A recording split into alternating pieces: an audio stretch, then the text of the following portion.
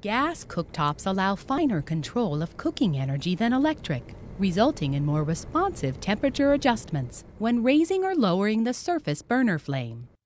Gas must flow freely throughout the gas opening for the burner to light properly. Electric igniters light the surface burners when the control knobs are turned to the ignite position. All surface burners will click, but only the burner with the control knob set to ignite will produce a flame. Until a flame is sensed, all the igniters will click several times.